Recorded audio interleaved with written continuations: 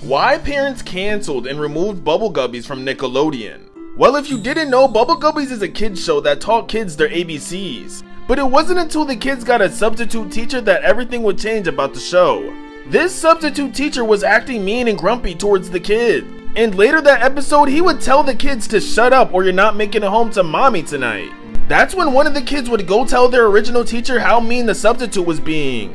So soon after, he would confront the substitute and say, Hey man, is everything alright? That's when the substitute would say, You just don't get it, do you? For all these years, all the mermaids did was use us. They make us cook for them. Use us as cars, airplanes, and boats. And I gotta tell ya, I'm lighting this place up. And if you're not with me, you're going with them too. That's when Nemo was like, You're right. They have been using us. It's time to put this to an end. Then they shot the place up.